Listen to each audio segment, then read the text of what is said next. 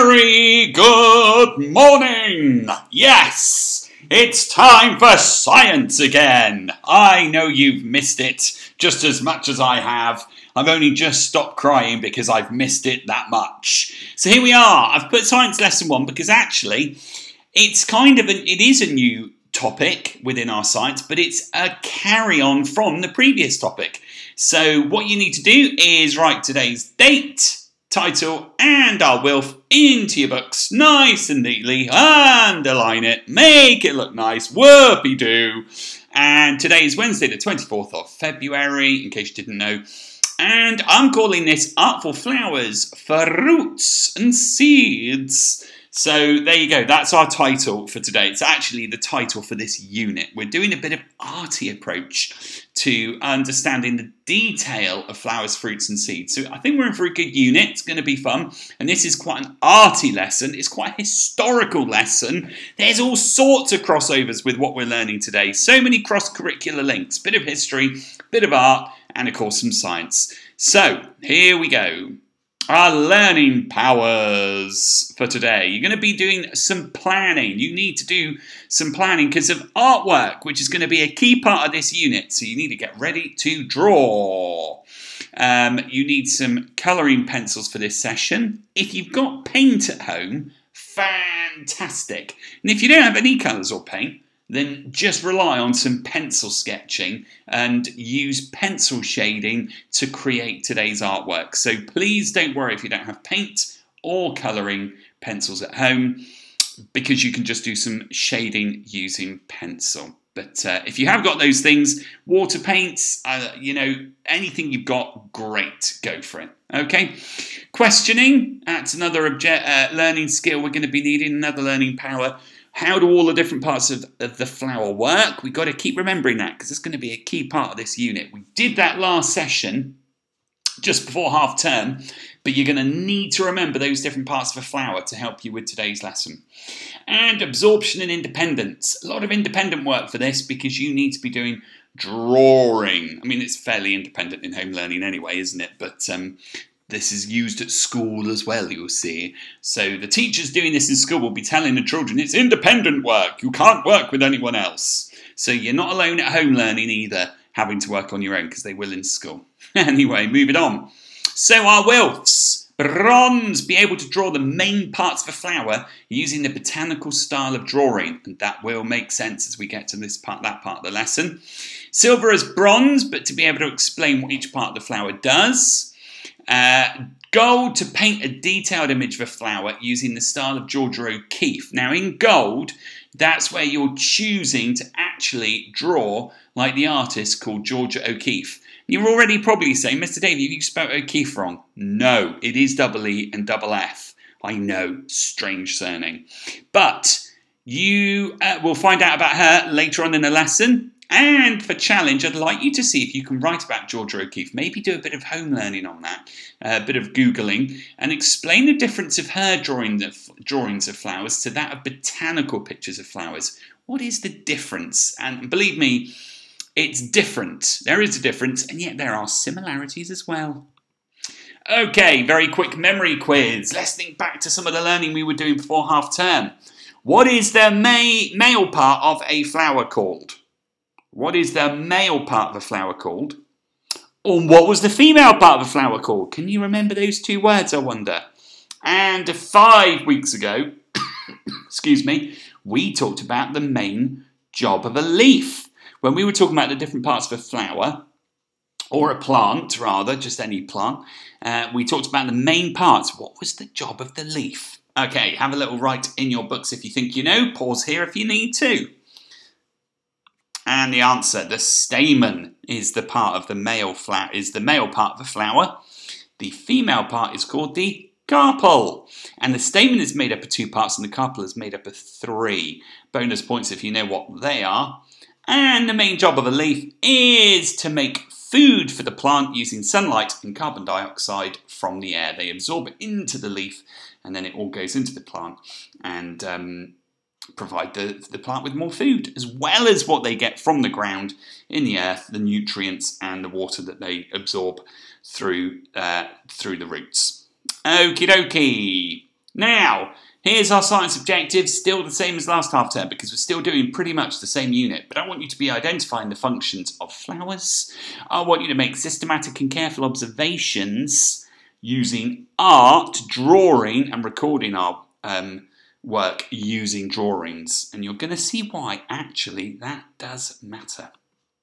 So, before we carry on any further in the first part of this lesson, it's time to check out the ha- check in the how well that doesn't make sense. Check in on how well the five different plant pots have been growing. Okay, uh, I'm doing some comparison photos this week to see how the plants have grown and the differences there have been. So we need to fill in that last column, column uh, that says week five on that sheet that goes back all those weeks ago. So these pictures I took were ones from over half term. And I'm only focusing in on two pots because by now you've worked out that three of the pots basically are never going to change. So let's look at our little journey. Uh, if you want to pause here, uh, you can copy in what we did for week what week five is. And I'm afraid there's some bad news. I, don't like to say it too much, but part one and five. Oh, handkerchiefs at the ready with a bit of sadness and a few tears. they kind of flopped over. Now, it wasn't because I wasn't looking after them. Don't say, Mr. Davy, you forgot to water them. I didn't. I've been a good boy. I've been looking after them so well. And I spoke to my mother in law, and she's amazing with plants. And she has said, it's probably because they've had almost too much light because they've sat on the windowsill. So they've done really well with that light, but you can almost have too much light. So there's a balancing act with our uh, what plants need, and we'll talk about that in a minute.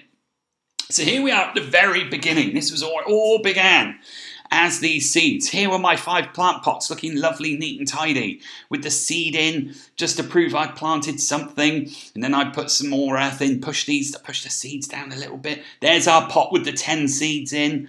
And uh, that was how it all began. So let's take in pot or plant one. And there it was, week one. After a week, it had a little shoot. It was so exciting. And that shoot grew and it grew and then it flopped.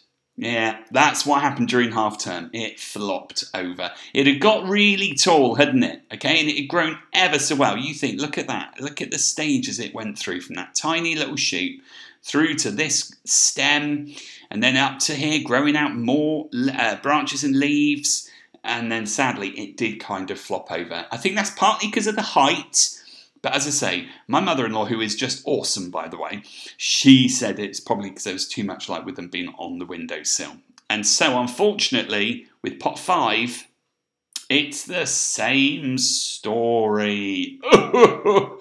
there they all were. See, we after after one week of trying to grow, we had these shoots. It was so exciting. Five of them had popped up, and then by the next week, look how much they'd been growing. All and more. All ten had shot up and five of them were, or three, I think it was, wasn't it, that had grown only a little bit because it was quite overcrowded in there.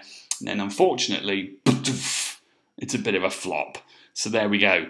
Uh, again, that could be down to it being overcrowded, but given that the other pot also flopped over with just the one seed, I can't say can definitely, from a scientific and fair testing um, approach, that that was definitely the case. But anyway, so what I did after they had flopped over, I kind of pulled them out very gently and I cleared away the earth so you could see the root system. This is plant one in this first picture and you can see the root system quite well spread out. And then I decided, and I couldn't really get the earth off this, it was all bound up quite a lot. And this, this is the roots of all 10 plants, so it's all tangled in together and not much space really for them to, to grow. I think if I chipped away at the earth, it would just have been a massive root, all tangled up and all a bit of a mess because they just didn't have the room to grow. So basically, what can we con- what can we conclude that a plant needs to successfully grow? Well, it's five things: light, water, space, air, nutrients. So there you go. They're the five things that a, uh, a plant needs to have if they're going to grow successfully. Okay, so they need light, they need nutrients, they need the air, which of course they had in, in where I had them in my kitchen. But outdoors, some plants grow well indoors, some plants don't grow so well indoors. Uh, but water was key, absolutely. And that's why, with those plants that were hidden away in the dark, nothing happened. No light could access those two pots that I had there. And of course, the ones that I didn't water definitely were never going to grow. So there you go. Right.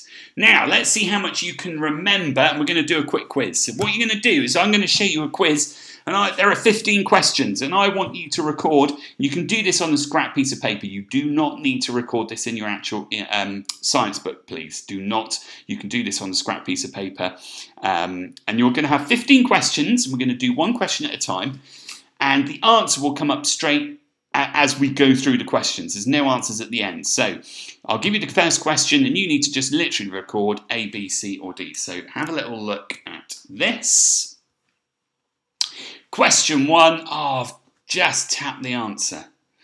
Great. Which one is not a living thing? Is A, B, C, D or E?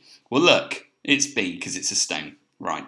So there's there's a quick, easy start for you. So you got 15 questions coming up. That's one of them. So you got 14 more. All you need to do is write your answer. So if you want to press pause and have a think uh, uh, during each question, um, before the arrow, blue arrow, bounces in to show you the answer, you can always pause the video as we go.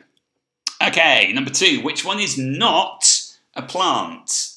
Which of these is not a plant? Hmm. Which of these has not grown from um, being a seed under the ground with a root system and so on? Okay, which of those? A, B, C, D, or E? Which do you think? Write it down. Pause here if you need to have a think. The answer's C. The mushrooms, they don't, they just literally grow out of nowhere. Well, they don't grow out of nowhere, but they are not, they don't have a plant root system as you would find with the other examples there. Okay, they're part of the fungi family. That's what I'm part of. I'm part of the fungi family because uh, I'm a really fun guy. Moving on. Number three, which of these is not true? Is it A, the, the root holds the plant upright in the soil? B, the root takes up water from the soil. The root makes food for the plant. Or D, the root can store food for the plant. Which of those is it? Pause here, have a little think if you need to. What's the answer going to be? Here we go. It's C. The root makes food for the plant. Okay. Um, remember, on A it says the root holds the plant upright. No, that's the stem. Roots anchor it, but it's the stem that keeps the plant upright. Um, so there you go. That's number three. Here we go. Number four. Which one of these is not true? A. The, the stem transports water from the roots to the leaves. Hmm. The stem of a plant cannot be eaten. Hmm. The stem contains long tubes called xylem. I've forgotten that word. I made a big deal of getting that right. Or is it this one? D, except that's not D, that's a picture of a plant. So, which of those is not true? Okay, what do you think? A, B, or C? Have a think. Pause here if you need to. But here comes the answer. It's B. The stem of a plant cannot be eaten. Okay the leaves might be able to, or the flower might be able to. And you'll be surprised at what I mean by flower. Okay, uh, I'm not talking like a daffodil flower. Uh, there's other things, things like broccoli. Mm, you're going to find out about broccoli next time. Broccoli is, is a flower, and you can eat the fruit of it. There we go. Right, number five. Which one of these is not true? A. The leaves always grow in pairs. The leaves make food for the plant. Well, you should, mm, yeah, B, hello. I think we've talked about that already today. C, the leaves have tiny holes on their underside that allow gases in and out. And the leaves, D, leaves use energy from sunlight. What do you think? Pause here if you need to. Is it A, B, C, or D? It's A. Leaves don't grow in pairs, they can grow on their own. All the others are true. Number six, which of these is not needed by a plant to make its food? Pause here, have a think. Which of these is not needed by a plant to make its food? Water, a gas called carbon dioxide, sugar, or sunlight? What do you think? A, B, C, or D? Pause here before I show the answer. Which is C, sugar. They don't need that to make food. Goodness me, no. Right, number seven. Leaves contain a green chemical that traps the sunlight. It's called A. Oxygen. B. Xylem. C. Chlorophyll. Mm. This one you may not know the answer to because we haven't officially learnt this bit. So I'll give you a clue. Let's see which answer it could be. Oh, hello. It was chlorophyll. So that's the stuff that is uh, the chemical that traps the sunlight in a leaf. Okay. Um, anyway, right. Moving on. Sorry about that one because we haven't officially done anything on that. But number eight. In winter, the leaves of many plants turn brown. This is because, is it A, the plant cannot get enough water? The green chlorophyll breaks down, the wind damages them. Okay. Pause here if you need to, but if you think back to the other answer, it's because the green chlorophyll breaks down and they no longer, that's why they change colour. Uh, the chlorophyll breaks down in the winter because it can't survive in those temperatures. But it means the plant can regrow because without winter, you can't get the other seasons and all the things that plants need to regrow again. Right, number nine. Plants make flowers to what? Make themselves look nice, warn off predators, or C, to reproduce? A, B, or C? Pause here if you need to think. And the answer is C, they need to reproduce. Nice, easy one there. Number 10. The plant makes a fruit to hold its seeds, feed animals, or look attractive. A, B, or C. Nice and simple there. Pause here if you need to think about that one. And it's A, hold its seeds. Cut the apple open and you'll find the seeds. We'll be looking at seeds later this term. Hopefully when we're all back together at school, but we'll have to wait and see. Right, number 11. Which of these is not a fruit? I repeat, not a fruit. Hmm, interesting. What do we think? A, B, C, D, or E? Hmm, pause here if you need to have a little think. It's D because, of course, there's that's a cauliflower and there's no seeds within that one. Whereas you cut that open, there's seeds. Cut that open, there's seeds, and there's tiny seeds in the cucumber. There, you can see the seeds. They're very uh, small, but they're there. And in a blackberry, there's seeds. So there you go. It has to have seeds. That's why a D uh, cauliflower uh, is not a fruit. Okay, so number 12, nice and easy. When it's cold, plants grow very slowly, very fast, or just the same. What do you think? Think about the conditions for how what a plant really needs to be able to grow. I don't think it can be B, can it? Hmm. It is A, of course. Very slowly. Very slowly. Right, number 13. Ooh, looks like my plant pot with all the root system on show. Right, soil is important for plants. Which of these statements is not true? A. Plants get minerals and nutrients from soil to keep them healthy. Okay, which of these is not true? That sounds, yeah. B. Plants need soil for their roots to hold onto so they are anchored in the ground. C. Plants need soil to get rid of waste. Hmm, what do you think? Pause there if you need to have a little think and a read over of those again. Here comes your answer. It is C. They don't need to get rid of waste because they do that through the leaf system and it's all easy peasy for them. Right, number 14, second to last question. To be a healthy plant, they also need a plastic plant pot, other plants nearby, or C, enough space to grow. Hmm. Pause here if you need time to think, but I think the answer to that's a nice easy one. Number 14 is C. Of course it is, they need space to grow. And finally, number 15, which is not true, A, B, C, or D. A plant that has enough water may still be unhealthy if it doesn't have enough space, attention, light, or nutrients. Okay, which of these is not true? So basically, it's a bit like the odd one out. Okay, so one of those is just a silly answer. That's quite obvious, isn't it? You don't even, I don't think you even need to pause the video here to know the answer to this one because it is. Everyone shout it out. Bees! Nothing to do with attention. Although speaking over plants might still make them feel nice, but people have different theories on that one. And that one's that. So hopefully you all got 15 out of 15 on that. Good. Moving on.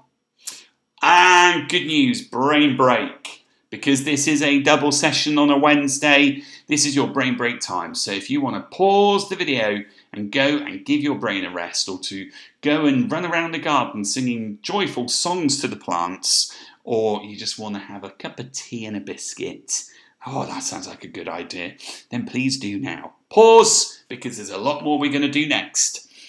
Okay. Welcome back to part two of the lesson. This is where we learn how to be botanical artists. So what's so special about flowers? I'm going to rattle through, rattle, rattle through this bit because plants are amazing and I just want to give you a little bit of background on how amazing plants are. A single flower can be more than three meters tall. Look at the size of that. Look at all these people in here, okay, and how tall they are, and then just the ginormosity. That's a new word for you. Ginormosity of this plant. Whopper. Amazing. Absolutely amazing. Um, Anyway, yeah, incredible. That's amazing. But then look at how tiny these little plants are. How tiny those flowers are. Tiny as a grain of rice. So the plants are incredible. I'm going to give you some history very quickly about how plants have spread around the world, okay? Because actually, human beings, humankind, have transported plants all over the world. And they didn't always grow or start in any one particular country. They have been an import. So they, they sometimes are, um, well, they've come from other places. So let's have a little quick look through some history. During the 1600s, growing rare tulips was a fashionable hobby. Rich people in Holland, over in Europe, competed against one another to have the rarest, most beautiful varieties, and incredible prices were paid. In fact, for a short time, tulips were more valuable than gold. Can you believe it? People even swapped their houses for tulip bulbs. They were clearly bonkers in the old days. But yep, tulips, if ever you do go to Amsterdam or the Netherlands, Amsterdam's amazing capital city in the Netherlands, they have the most beautiful tulip displays if you go at the right time of year. There's a very famous thing to buy from there. So yeah, beautiful, beautiful flower tulips. Uh, but some flowers are deadly poisonous. Do not eat them, touch them. Foxgloves, beautiful to look at, but very poisonous. Others make delicious food. Look, bit of broccoli there, and yes, it's a flower. I know it looks like a cauliflower, and we didn't say the cauliflower was a flower, but actually the broccoli is a flower.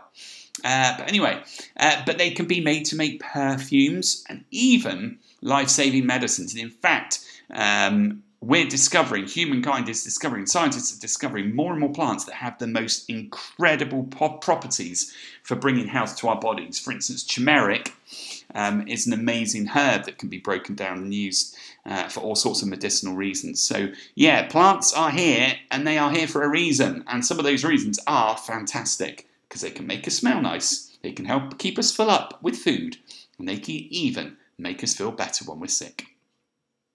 And of course, it's lovely to get a bunch of flowers, isn't it? Um, and there are over, they think, as many as 400,000 different types of flowers in the world. And if ever you get to go to London and go to Kew Gardens in southwest London, oh my goodness, Kew Gardens is amazing. And they have got a, I don't know if you can go in, but there is a place within Kew Gardens. So it's a very, very big place, huge, huge grounds.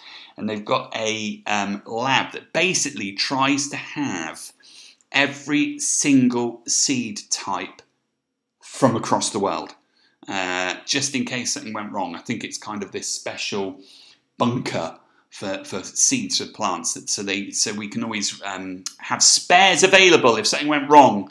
Uh, there was a, a, a catastrophe, we can replant because they've got the seeds to replant. So very amazing. Uh, 400,000 different types. Absolutely fantastic. So many of the herbs, trees, flowers, fruits and vegetables that grow in our gardens, fields and woods do not necessarily come from Britain. Even though they're here in Britain doesn't mean they started here in Britain. We're going to have a little look at some of the travellers and plant hunters who have brought them to our country over many hundreds of years. And if we go back to our friends the Romans, Our topic from the autumn term the Romans who invaded Britain brought over plenty of plants. They bought these like plums. Uh, is that parsley? I'm not sure. And roses. That's all thanks to the Romans. Can you name them? But that's a herb of some sort. I have a feeling that's parsley. Anyway, it's a herb of some sort, but plums, roses, and, and herbs. And then in the 15 and 1600s, British explorers, as they started to discover new parts of the world, found all sorts of things. And this is the most amazing thing ever. There's a guy, Mr. Walter Raleigh, who sailed to the Americas. This is the Americas and both North, South, and the Caribbean islands. And he said to have brought these plants back to Britain. Can you name them? Well, I bet you can. Pineapple, tomatoes, and potatoes. Potatoes, my friends. Oh my goodness me. They came from America, and you would have thought, well, potatoes are so common, they're so easy to grow. Well, we didn't used to have them in our country. Many hundreds of years ago, before Raleigh, Walter Raleigh discovered them, we didn't have potatoes in this country. Imagine that! No chips! Terrible. Then, as we move through the timeline, 1700 and 1800s, plant hunters travelled the world in search of rare, strange, and new plants. So it became almost a bit of a um, not a hobby, but a passion for people to think, right, I want to be the one that finds the most incredible plant that's ever been discovered. You see, we think we've discovered everything, but in those days, so much had not yet been discovered. We take a lot for granted now in the 21st century, but back then, three, four hundred years ago, no, very, very different type of world. Um, so it was a dangerous hobby as they risked shipwrecks, extreme weather, wild animals, and unfriendly natives. Finding a new plant did not make them rich or famous, so why would they risk their lives in search of plants, for goodness sakes? Well, they were just completely fascinated by them. And flowers were an obsession. Someone who studies plants is called a, bon- a botanist. On plant hunting trips, they would press flowers samples, flower samples completely flat inside a book, uh, between sheets of paper to dry them and preserve them and they would also keep careful notes in books. So that is a pressing of some flowers. Okay, so if you ever you, you can you can buy flower presses if you just Google that on Amazon or uh, look, you can buy them quite cheaply, and you, you literally just dry them out, press them in, and, and you can create a lovely effect with them. Uh, but there we go. So Travelling botanists would return home with unusual living specimens too to plant their garden in their gardens and glass houses, and it was a way of showing off if you were rich in those days. Because what you would do is you would perhaps get buy a plant off one of these botanists, and you know have it in your garden to be like the only person that's got it. Whereas today, it's we, we, kind of take it all for granted, don't we? And we can have anything pretty much. But obviously, it doesn't guarantee uh, that you can grow them easily in our country because it has to be the right climate. So, for example, a cactus needs hot, dry, sunny, warm weather, which is why they're best grown in glass uh, greenhouses. So, yeah, there you go.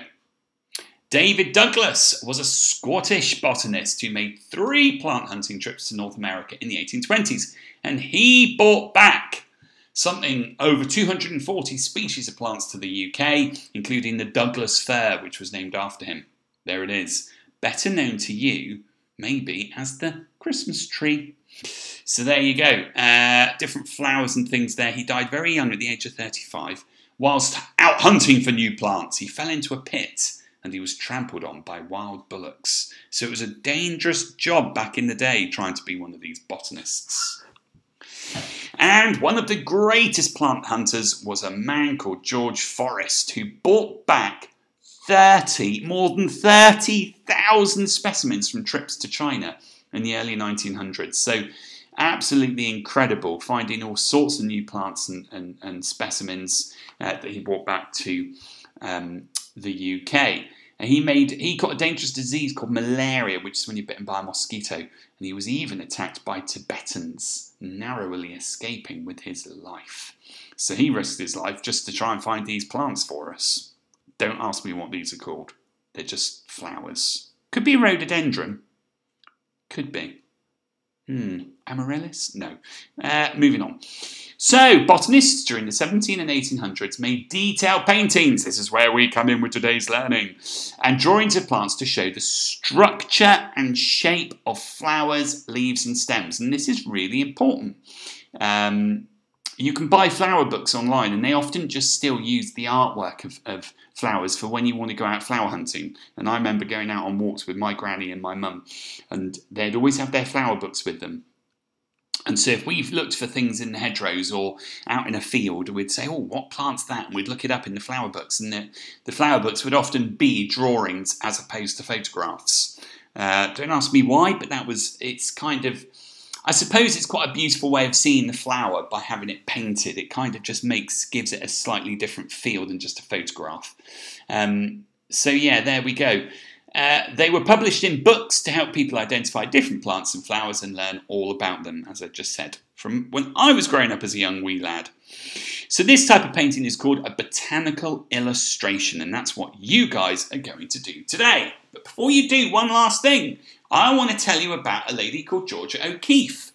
And she was an amazing artist, absolutely phenomenal. If you Google her and the paintings she's done, of which you can see two examples here, you'll see a few more in a minute. Oh my goodness, she was amazing at art. She, what she did though was she kind of did a, like an extreme close up of a flower. So if I just go back here, you see everything about the flower and the plant. Okay, you see the leaves, you see the stems, you see the flower head itself you know, they, they, they're very detailed and they're very accurate and they're very beautiful and they want to show you everything. But George O'Keeffe wanted to go like zoom in on one part of the plant and draw it in incredible detail. But you're only, it's almost like a sort of snapshot, like a framed section of the plant. You see, you can't see the whole plant here. This is this is the petal section, but you can't see the stem, you can't see the leaves. It's kind of just an extreme close up. And she wanted to look at the inner structure of flowers. She painted over 200 pictures of flowers and became really famous for them. And she is considered one of the most important American artists because she was from America. Uh, again, here you can see these are poppies, and they've been really close up drawing of them, and the different, the, the marvelous sort of colouring that you get in there. And, and again, here, just just beautiful. And she died in 1986, so not that long ago, at the wonderful age of 98. So, this is your time. During this session, your task well, what you're going to do now for the rest of today, or this morning, is to become a botanical illustrator, or you can decide to be like a flower artist like George O'Keeffe. Okay? So this flower here is called Morning Glory. On the left, you can see a typical botanical painting. That's the real plant. Okay, that's the plant in real life, a photograph. This is a botanical drawing of the plant. And up above, is the example of a painting by Georgia O'Keeffe. So you've got the three different styles. You've got the real thing, a photograph, a botanical drawing, and the, the way that she chose to draw it artistically. Okay, but again, she's still accurate with what she did. She didn't. It wasn't. She didn't make up new colours. She didn't sort of did redesign the flower. She still painted what you could see, but she did it much closer up. Whereas this botanical picture will give you the whole thing. Okay, so here you can see uh, the flower at different stages growing out from the uh, little beginnings before it opens up here, and the leaves and the stems. So you can choose today to either draw a flower close up, like George O'Keeffe, or a botanical picture where you draw the whole thing. So, here's an example two paintings of poppies. Both are beautiful, but which painting is by George O'Keeffe? Do you think it's this one, or do you think it's this one? And by now you should have worked it out. There's the uh, original picture of a poppy, and of course, it's this one and not this one. It is this one, it's the close up, whereas this is the botanical picture. So it's time for you to become a botanical artist. What you are going to do is you're going to use this image of a um, lily. forgot the name there. Uh, and it's right here. Look, if, so if you were painting painting a uh, botanical illustration, you would need to show the stem, the leaves, the whole thing. Okay, the buds, the detailed parts, the carpel, the stamen, um, all of it. Okay, uh, but if you do George O'Keeffe style, you do an extreme close up. So what you're going to do is this. Here's the same uh, picture of the um, lily. This magnifying glass is, is, is kind of picking out one section of it. Okay, so if you want to, you can either draw this and pause here to, to, to sort of copy it.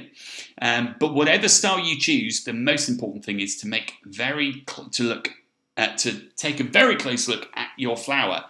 Uh, if you've got a magnifying glass, now you're not in school for this, so you're just going to have to use what we've got on here. Okay, so you can follow the steps that are going, to be shown in the next couple of slides to do your work. So you can pause here and pause your way through the next few slides so you can start doing an accurate drawing of a lily. And here are, here's the beginning of one, okay? Oops, sorry. So, begin by painting the center of your flower. If you haven't got paints, don't worry. In the perfect world, yep, brilliant. If you've got watercolors, brilliant. But if you've only got colored pencils, that will not be a problem. I know you won't be able to mix colors as easily, but as long as you can create the same impression, then that will be great. So, you've drawn the outline, you've added the inner petal color, you've added the stamen and the carpels. Here's your original picture, and uh, all you need to do is pause and just build up your picture bit by bit. Okay, and obviously do this in your science book. So if you need to scroll through, okay, um, go back through these last few slides. Don't don't. That's not a problem. Just pause where you need to, and just do the best you can. And, and once you've drawn it into your book, in the last lesson you already did a, a, a diagram of a, uh, a pay, uh, of a sorry um, a flower, and you've already labelled all the different parts, so you don't need to necessarily worry about doing that this time. This is a different approach to being able to um, show a flower in all its detail, whether it's a close up like George O'Keeffe or a further away to show the whole thing as a botanical picture. And just go for it. There's no right or wrong. This is an artistic science lesson. You didn't think those sort of things would happen very often. So well done. I know this has been really long, but you've done brilliantly. And um, I will leave it there. So pause wherever you need to to get your paintings done, uh, or your drawings done. Do it in your science book. And don't forget, do share it on Teams. And that, you'll be glad to know, is the end. So well done, thanks for watching, and I'll see you all next time.